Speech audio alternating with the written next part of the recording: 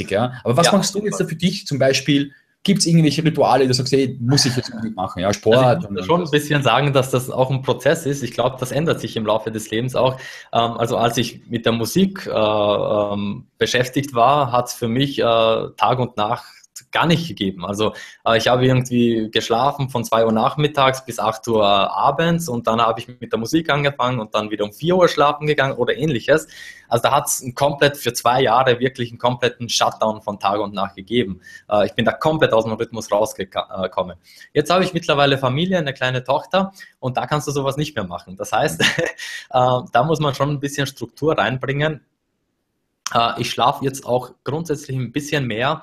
Äh, heißt, ich gehe früher ins Bett, ähm, stehe auch ein bisschen später auf. Ich schaue wirklich zu, dass ich äh, acht, neun Stunden Schlaf bekomme. Ähm, wenn ich das nicht schaffe, hole ich das äh, tagsüber Nacht, äh, nach. Aber äh, es sieht schon so aus, dass ich obwohl ich äh, gerne strukturiert bin, nicht immer ähm, äh, dieser Struktur folgen kann. Äh, aber dann habe ich natürlich schon äh, äh, auch das Vertrauen, dass ich sagen kann, hey, letztendlich bin ich von niemandem abhängig, ich bin selbstständig, ich bin Unternehmer, ich kann jetzt schlafen gehen, wann ich will und ich kann tun, was ich will und dann komme ich wieder in, äh, in meine ähm, natürliche Struktur rein. Was Morgenrituale angeht, ähm, also ich meditiere jetzt nicht in dem Sinne, ähm, was ich mache. Ich, ähm, ich lese gerne, ähm, denke auch drüber nach, was ich da äh, lese. Ich schaue auch wirklich zu, dass ich da wirklich ähm, ähm, ziemlich, ziemlich äh, beruhigt bin in der Situation, ähm, wo ich lese, damit ich wirklich das Maximum aufsaugen kann. Ähm, überlege dann wirklich, wie ich das einbauen kann in mein Business und gehe so die Schritte wirklich durch. Also ich visioniere richtig ähm, ähm, in der Früh, so dass ich äh, also es gibt mir für den Tag ziemlich viel Power, weil auch wenn es irgendwie ein Kundenproblem hat, oder irgendwas Schreckliches passiert, kann ich äh, trotzdem ziemlich beruhigt bleiben, weil ich weiß, okay, ähm, da gibt's, das wird sich ähm, äh, regeln und ähm, wenn man der Sache auch beruhigt, also ruhig angeht, dann löst sich das Problem meist auch schneller, wie wenn man da hektisch ist. Ja, ja, super. Ähm, außer es ist so ein Tag wie heute, wo ich deinen Plan auf einmal durcheinander bringe, weil wir Termine verschieben müssen und so weiter. Na, Spaß, ja. Habe ich halt nochmal ein Coaching dazwischen geschalten. Also okay, okay, ja, cool, ja.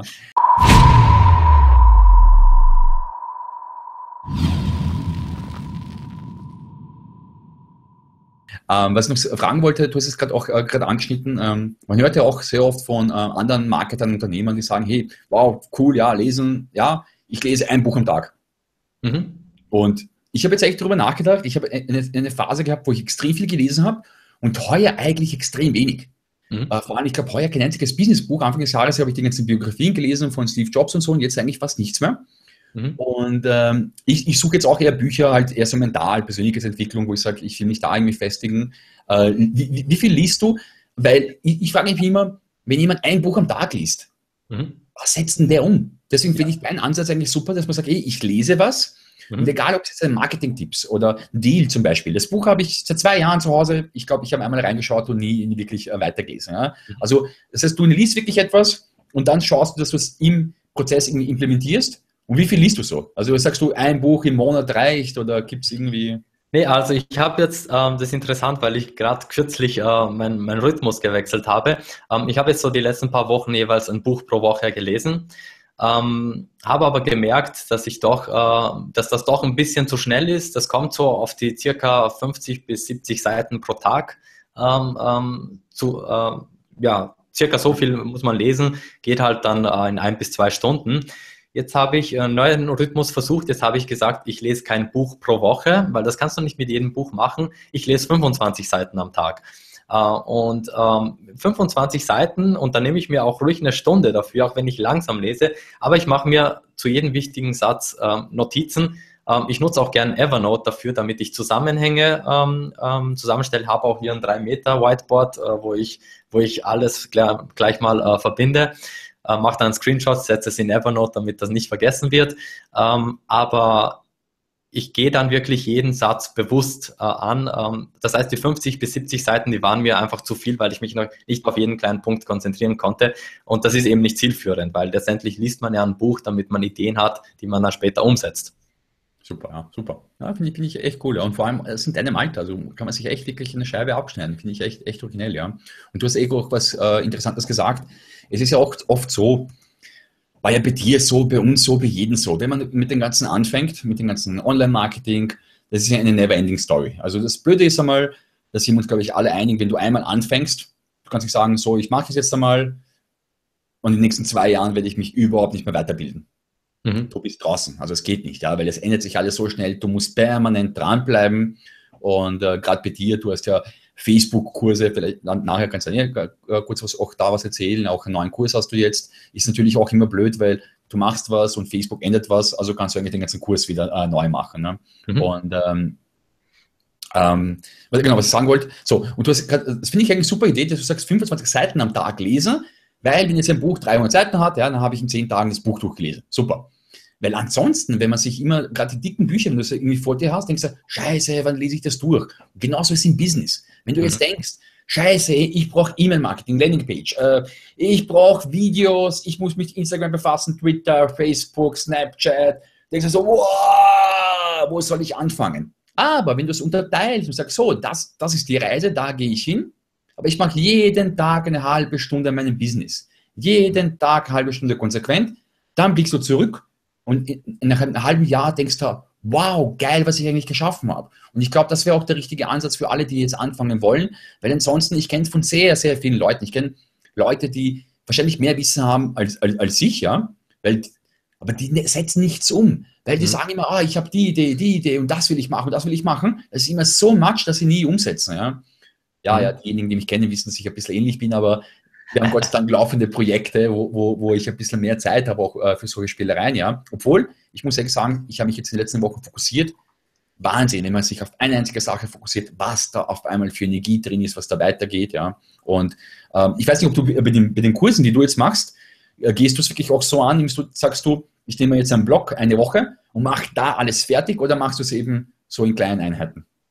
Nee, ähm, ich glaube, also ich, ich habe den Fehler schon ziemlich oft begangen, dass ich kurzfristig gedacht habe und ich habe mich selbst überbewertet, ähm, kurzfristig gesehen. Ich habe mir zu viel zugetraut, dass ich in einer Woche das alles schaffe, ja. Und dann war ich, ähm, ist zum Beispiel auch ein gutes Beispiel mit meinem allerersten Kurs.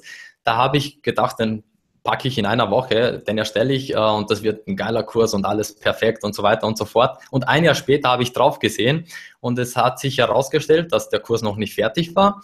Äh, nicht mal das erste Video war fertig, äh, weil ich habe nach der ersten Woche aufgrund dessen, weil ich enttäuscht war von meiner Leistung, ähm, habe ich das nicht fortgesetzt, aber ein, ein Jahr später habe ich noch immer danach gedacht. Das heißt, es hat mich auf Tagesbasis wirklich verfolgt.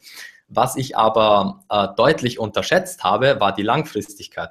Das heißt, hätte ich mir das in Zwischenzielen ähm, aufgeteilt in kleine Häppchen, wo ich wirklich jeden Tag eine halbe Stunde dran gearbeitet hätte oder eine Stunde, wäre das Ding nach zwei Wochen fertig gewesen. Das heißt, ich hätte einfach nur ein bisschen äh, besser planen müssen, realistischer planen müssen. Und das ist äh, grundsätzlich in allem. Also wenn man sagt, äh, hey, ich lese jetzt 50 Bücher äh, im Jahr, ähm, dann zwingt man sich so ein bisschen jede Woche ein Buch zu lesen und da gibt es zwar so kleine Bücher, die schafft man in einer Woche locker, aber es gibt auch ähm, so dicke Bücher, wie zum Beispiel, ähm, wie heißt das nochmal? Ähm, Schnelles Denken, Langsames Denken von ja. Daniel Kahnemann. Äh, genau. Und das liest man vielleicht nicht so äh, in einer Woche. Und dann ist man enttäuscht und hört auf, weil man seinen Rhythmus nicht einhalten hat, äh, hätte können. Aber wenn ich sage 25 Seiten am Tag, geht sich das ähm, ziemlich locker ähm, aus und ich kann entsprechend auch das Wissen verarbeiten. Vielleicht bevor wir jetzt dann zu den Kursen kommen, äh, ich hätte gern von dir noch ein, zwei so Schnellhacks für die Leute, ja, die immer noch vielleicht zweifeln, ob sich das Ganze mit dem Hexagon auszahlt, ob der Manuel wirklich ein Facebook-Experte ist, ja. Und ich habe mir vorhin einige Sachen aufgeschrieben. Ähm, also vielleicht magst du da mal kurz was raus, äh, raushauen, das wegen den Uhrzeiten mit dem Facebook-Schalten zum Beispiel, ja. ja. Aber, aber kurz vorher auch von mir etwas. Ich habe ja zum Beispiel, als ich mit dem Online-Business äh, angefangen habe, wie, wie, auch bei dir, man arbeitet einfach, also ich habe keine Ahnung, 12, 16 Stunden am Tag wirklich gearbeitet. Okay, 16 nicht, das bin übertrieben, aber 10, 12 Stunden, das war also jeden Tag normal, ja. Mhm. Und das Gute ist, oder das Blöde in dem Fall ist, eineinhalb Jahre später habe ich zurückgeblickt und ich hatte 30 Kilo mehr. Und dachte, scheiße, wo kommen die auf einmal her, ja? Ich habe mich echt in der Zeit nicht abgewogen. Da war ich einmal im Urlaub, ich habe mich auf die Waage gestellt und mir gedacht, fuck, hey, bist du fett geworden? Da muss man ehrlich sein, ja? Ich war einfach fett. Ich habe mir gestern ein Video angesehen, was ich vor drei Jahren mit dem Marco Hemer gemacht habe. Und mir dachte, boah, Wahnsinn. So, und wie habe ich dann 30 Kilo abgenommen? Genau das. Ich habe gesagt, so, Dejan, den größten Fehler, den du machen kannst, ist zu sagen, hey, ich will 30 Kilo abnehmen innerhalb von zwei Monaten. Und das machen die meisten, egal ob Business, ob Mindset, egal was für ein, wirklich, egal was du im Leben erreichen willst, die setzen sich so kurzfristige Ziele. Und dann, es geht nicht immer alles in dem Tempo, was du dir vorstellst. Und wenn du sagst, ich will in zwei Monaten 30 Kilo abnehmen, ja, und dann ein Monat später hast du vielleicht nur 5 Kilo abgenommen, da geben die meisten auf. Die sagen, ja. scheiße, 5 Kilo nur, ja. Und ich habe gesagt, hey, nein, mein Ziel ist irgendwie 2, 3 Kilo pro Monat abzunehmen. Und siehe da, 10 Monate später waren auf einmal die 30 Kilo weg, ja. Also egal was, deswegen auch da nochmal sezieren in kleine Einheiten, langfristig denken, weil egal, ob du auch dein Online-Business aufbauen willst, ob du Neukunden gewinnen willst, hey, du hast jetzt 20 Jahre nichts gemacht, wieso muss das morgen sofort äh, der Fall sein? Mhm. Wieso musst du morgen sofort 5000 Euro verdienen? Du kannst sagen, ja, ich will 5000 Euro verdienen, ich gebe mir drei Jahre dafür. Und dann ist es um einiges simpler als diese hohen Ziele und dann sagst du, boah, geht nicht und dann gibt man auf. Ne? Ja, oft sind dann ähm, die, die äh, Ziele, die man sich längerfristig ähm, stellt, äh, funktionieren dann in kürzerer Zeit, als wie man glaubt, äh, dass man es schafft, wenn man es äh, kurzfristig denkt. Ja, ja. Ist dann tatsächlich echt so. So, gut, das war jetzt genug mal zu Persönlichkeitsentwicklung. Ich hoffe, dass es einem oder anderen auch dennoch hilft. Ja. Ähm, wie gesagt, hau mal ein, zwei Hacks äh, raus und dann kannst du vielleicht abschließend ein paar Worte zu deinem neuen Kurs sagen, den ich äh, bereits kenne und wirklich sehr, sehr gut empfinde. Also echt wieder tolle Arbeit, aber das ist mir von dir eh gewohnt. Hau mal vielleicht was raus und erzähl mal. Und dann, also ich könnte jetzt noch stundenlang mit dir sprechen. Also, also wir reden ja auch stundenlang, ja, aber dass wir dann auch zum Ende kommen, ja. Okay, ähm, also ein Tipp, ähm, jetzt was ganz speziell ähm, Facebook-Anzeigen angeht, äh, gibt so ein bisschen das, äh, den Mythos bezüglich der Uhrzeit, wann man die Werbung am besten schaltet. Und ähm, es ist natürlich ein bisschen branchenabhängig, aber es gibt schon eine äh, Art universelle äh, Zeit, wo die meisten Leute online sind. Äh, und das ist meistens zwischen 7, 17 Uhr und 21, 22 Uhr. Ähm, es ist nämlich, die, die Performance der, der Anzeige ist ganz stark abhängig von den ersten paar Minuten, sobald die Anzeige äh, live geht. Ja, wenn die Anzeige jetzt um 17 Uhr live geht und bis 17.30 Uhr hat die schon irgendwie zwei, drei Likes, äh, was bei Anzeigen nicht wirklich so oft der Fall ist, dann heißt das, äh, die Anzeige wird gut also angenommen und der Algorithmus äh, gibt ihr auch entsprechenden äh, Vorsprung bzw. einen Vorteil gegenüber anderen Anzeigen, die eben nicht so gut performen. Das heißt, man sollte hier die Uhrzeit wirklich äh, beachten. Ähm, Änderungen Hingegen habe ich äh, auch getestet, wann Änderungen durchzuführen sind, wenn man jetzt mit der Anzeige nicht wirklich, ähm, nicht wirklich zufrieden ist. Und die ist eher um Mitternacht. Äh, warum das um Mitternacht ist, keine Ahnung. Ähm, ich kann das nicht erklären. Ich habe es getestet und ich habe auch ähm, getestet, wann der Start der Anzeige eben der beste ist ähm, und habe das eben auch im Drei-Stunden-Rhythmus getestet und immer wieder kommt man auf das Ergebnis 17, 18 Uhr, dass das einfach die beste Zeit ist, um eine Facebook-Anzeige zu starten. Super. Ich bin gespannt. Ähm, wir haben ja gestern, wir haben jetzt da angefangen, Hexathon zu bewerben und äh, ich habe mich gestern gefreut, ich habe mich hingelegt und da habe ich nach Mitternacht auf einmal die, die Meldungen bekommen von Facebook, hey, die Anzeige wurde genehmigt. Also wir haben gestern wirklich gewartet, äh, um jetzt nach 12 Uhr zu schalten. Interessanterweise muss ich schon sagen, ich habe dir vorhin die Ergebnisse gezeigt. Ich glaube, CTR-Rate war irgendwo bei 8%, wir waren jetzt teilweise bei fast 10%, was eigentlich mega geil ist. Also man sieht doch, wenn eine Anzeige gut ist oder keine Ahnung, wie das Thema gut ist, dann ist wahrscheinlich sogar egal, welche Uhrzeit das ist. Ja. Mhm. Dennoch haben wir, ich bin echt gespannt, weil eben äh, der Kollege macht jetzt gerade die Anzeigen und äh, da bin ich gespannt, wie wirkt sich das aus, wenn wir jetzt die haben, die wir heute um Mitternacht geschaltet haben oder die, die wir jetzt eben um 5, 6 Uhr, ob es da Unterschiede äh, gibt. Vor allem, was du gesagt hast, was Likes angeht, vielleicht Shares. Was Übrigens, ganz wichtiger, ganz wichtiger Tipp noch, äh, wenn man für gewöhnlich mit seinem Account ähm, 20 Euro Tagesbudget hat ähm, und und von heute auf morgen entscheidet, dass man jetzt auf 200 Euro geht, dann muss man da äh, noch bedenken, dass, dass die äh, Zeit, bis die Anzeige freigeschalten wird, drei bis vier Stunden dauert, vielleicht noch mal länger. Aufgrund dessen, weil das Budget auf einmal höher ist, wird die nochmal manuell äh, überprüft von Facebook. Das ist jetzt was Neues, was die eingeführt haben, wissen auch die meisten nicht. Aber da klickt man, auch, klickt man auf eine schöne Warnung von Facebook, so in der Art, äh, dein Budget ist höher als wie, äh, als wie gewöhnlich, bist du dir sicher, dass du alles richtig eingestellt hast und so weiter und so fort. Äh, wenn man das, dem einfach das Okay gibt, äh, wartet man ähm, teilweise auch wirklich lang. Das muss man auch einberechnen. Sehr cool. Ja? Also Ihr seht, man lernt nie dazu und es ist auch nicht im Stein gemeißelt. Wahrscheinlich ist es so, wenn wir das nächste Mal, ich sehe den Mann in ein paar Wochen, wenn wir wahrscheinlich wieder ein Interview machen, kann sein, dass sich irgendwas wieder auf Facebook ändert. Also da muss man auch damit leben, dass es einfach so ist. Was mich aber interessieren würde, oder das erklärt dann für mich, es gibt ja ab und zu, man sagt ja gewisse Sachen, kann man nicht bewerben oder geht äh, äh, schlechter und so. aber dennoch gibt es teilweise wirklich so Bullshit-Anzeigen, wo ich mir denke, Alter, wie wurde die genehmigt? Ja? Das heißt, die Erklärung wäre in dem Fall, dass wenn jemand ein 5-Euro-Budget pro Tag hat, dass dann noch teilweise irgendwelche Glücksspiele und irgendwelche, du kennst es eh, diese ganzen, wo man eh schon, nach, wo es nach Scam schreit, also nach Betrug und so, aber dann mhm. werden die nicht manuell überprüft, oder diese Anzeigen? Naja, es gibt, ähm, es gibt Anzeigen, die werden halt, ähm, ich kenne den Algorithmus nicht genau, ähm, kennt glaube ich keiner wirklich so genau, wie das ausgewertet wird, ob jetzt ähm, eine Anzeige manuell äh, überprüft wird oder, oder automatisch. Äh, man kann das ein bisschen nachprüfen, wenn man nämlich die Anzeige erstellt und auf Analytics überprüft, ob da jetzt ein Besucher aus San Francisco ist oder aus Hamburg, merkt man, ob die jetzt manuell überprüft wird ah, oder nicht. Aber, ähm, Aber ähm, woran das liegt, äh, ich schätze mal, es sind bestimmte Begriffe, ähm, wie zum Beispiel, ich habe mal den Begriff Stress verwendet, weil äh, es eine Firma gegeben hat äh, mit ähm, Resilienz ähm, für Stress eben. Äh, und die wurde eben nicht genehmigt, weil die äh, diskriminierend war. Äh, und die wurde halt manuell überprüft. Und bei einer erneuten ähm, Absendung hatten wir das Wort Stress wieder drin. Äh, die wurde dann aber genehmigt und die wurde halt automatisch genehmigt. Also, aber was das Thema angeht, dass die Anzeigen eben nach äh, Spam aussehen oder ähnlichem, ähm, da gibt es auch äh, eine sehr interessante Erkenntnis, die ich in letzter Zeit gewonnen habe. Ich war der Typ, der, und du kennst das, der gern super aggressive Anzeigen gemacht hat. Das heißt, Emoticons, Pfeile, alles drum und dran, äh, damit die Anzeige richtig boomt. Ähm, funktioniert zwar gut ähm, und äh, es ist auch nichts dagegen einzuwenden, wenn es eben von der Zielgruppe her passt. Ähm, allerdings, und damit habe ich eben ähm, circa 30 bis 35 äh, ähm, Opt-in-Conversion auf der Landeseite erzielt. Jetzt habe ich eine Anzeige, die performt zwischen 45 und 55 Prozent und die ist überhaupt nicht aggressiv. Und ich habe teilweise von Marketern das Feedback bekommen, Emanuel, was machst du?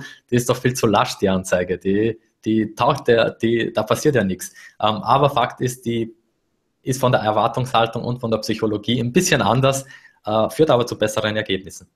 Das heißt, ich weiß schon, was ich heute tun werde. Ich werde mal deine Anzeige etwas besser analysieren. Ne? Ja, ja, ein bisschen spionieren, was du so treibst. Ja, weil ich habe ja schon gesagt, wenn ich mich einmal einlogge auf Facebook, es gibt immer ein paar Gesichter, die ich dauernd sehe. Das bist du, Jeremy Fay von Mehr Geschäft, äh, Alex Riedel, da und unsere eigenen äh, auch. Aber gut, das ist wahrscheinlich, weil ich auch immer irgendwie draufklicke. Aber dauernd dieselbe Werbung. Ja, also die Anzeige, ich weiß nicht, wie oft ich schon gesehen habe. Was eigentlich jetzt komisch ist. Eigentlich müssten die doch irgendwie die abschalten, oder wenn die eh sehen, wenn natürlich ja, ich nicht drauf, ich will ja die keine Kosten verursachen. Ne? Nee, ich habe das bei mir zum Beispiel so eingestellt, wenn jemand äh, jetzt diese Anzeige schon mal geklickt hat, dann soll er sie nicht mehr sehen. Aber es kann sein, dass du bei mir in mehreren Zielgruppen bist. Und aufgrund dessen, weil ich jede Zielgruppe als eigene Anzeigengruppe habe, kann es sein, dass du ein und dieselbe siebenmal siehst äh, und jedes Mal, wenn du sie klickst, wird sie ausgeschalten, wird aber auf, auf einer anderen Zielgruppe nochmal gezeigt. Also ah, sehr interessant. Das könnte sich überschneiden, ja.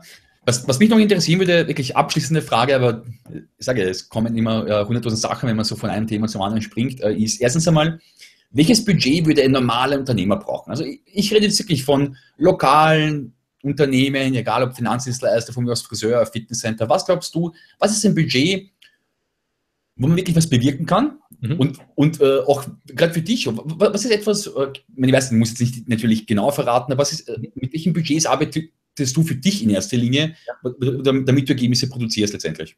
Ja, ich kann es ähm, ganz klar sagen, mit welchem Budget ich arbeite. Früher habe ich gern mit fünf bis zehn Euro gestartet, auch wenn ich mehrere tausend Euro Budgets, äh, Budget hatte, damit ich sehe, ob die Anzeige überhaupt äh, performt. Weil wenn sie mit fünf oder zehn Euro nicht performt, damals, äh, performt sie auch mit 100 Euro nicht. Mittlerweile habe ich das gesteigert, weil ich ähm, einfach gesehen habe, die Klickpreise auf Facebook sind im Laufe der Zeit auch teurer geworden, muss man auch ganz klar sagen. Früher hatte man Klickpreise von 20, 25 Cent, jetzt sind sie mittlerweile in meiner Branche ähm, ein bisschen was über einem Euro. Ähm, und deshalb starte ich jetzt mit 20 bis 30 Euro ähm, am Anfang, Tagesbudget.